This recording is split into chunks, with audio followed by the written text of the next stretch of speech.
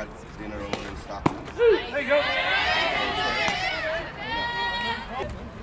Yeah. Yeah, 12. There you go. No, 12, yeah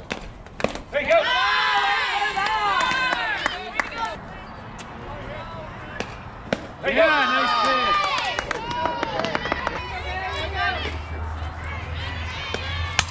There you go. I vote.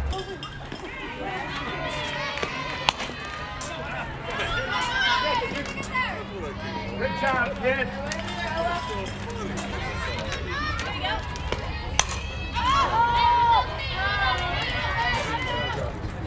There you go, kid. There you go. There you go. There you go.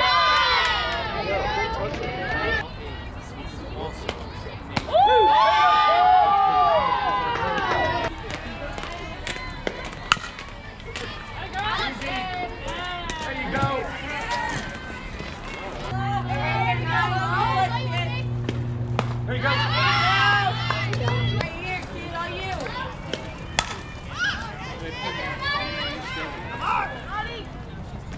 Good job, man. There you go. Good job. There you go. Deal, deal, deal.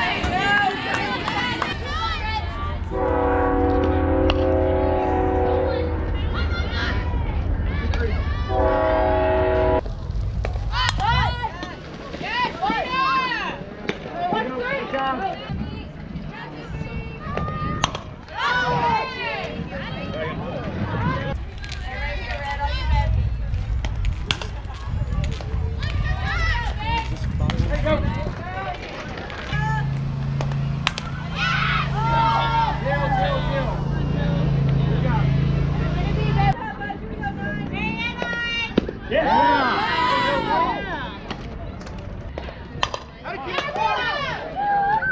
Errou!